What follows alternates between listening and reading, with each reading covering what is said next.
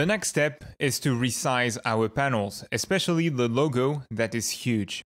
So to do that, I'm going to zoom out on my document, press Ctrl T, keep the Shift key down, and resize the logo. I'm going to make it pretty small. Next up, I want to remove the white around it. To do that, I'm going to pick the contiguous color selector and I'm going to click on the white with the default parameter should do the trick and press the delete key. It will be enough for this example.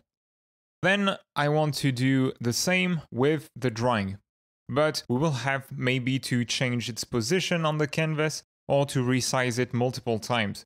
We can do that in a non-destructive fashion if we right click on it and select transform mask. When you have a transform mask in the layers docker, you can select it, press Ctrl T, and you can transform your item, but none of the original transform data will be lost. And that's the power of it. So now I'm scaling it down so it fits the guides as best as possible.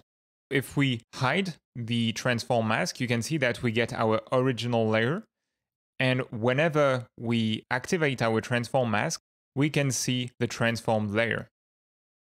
Okay, so same thing will happen with the panel and the banner at the bottom. Right click, add a transform mask, and I'm going to place it down there, scale it up this time, so that the frame of the drawing fits the guides.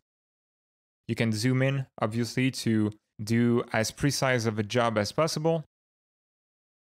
Alright, there it's good. Note that you can still use the move tool thereafter and move your original layer down like that. I'm going to leave a bit of space between the upper drawing and the second panel. Then I'm going to maybe select the banner at the bottom. I want it to be way smaller. Maybe we'll put it in the bottom right corner of our page.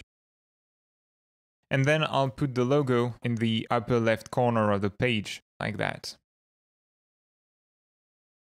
From experience, I know that on an A4 sheet of paper, this upper portion that's going beyond the guides won't be cut. In general, if there's a bit of a cut in there, it's only right along the borders of the sheet. It's going to be going beyond the guides a little in that case. The logo will balance out the little drawing in the bottom right corner of our page. I'm going to hide the rulers. And the next thing I want to do is to only have the actual drawing showing in the panels. The way to do that is to add a new layer in here at the bottom of our page. And we are going to make selections in that case. I'm using the guides with snapping to make a selection that fits within the frame outlined by the guide. And in that case, I'm going to fill the selection in here with any color, really. A pretty visible color is good. I'm going to put this layer at the top with control page up and lower its opacity a little so we can see the drawing showing through it. Same thing will happen to the panel and I'm going to fill in here. Now we can put that layer at the bottom and inside of the group.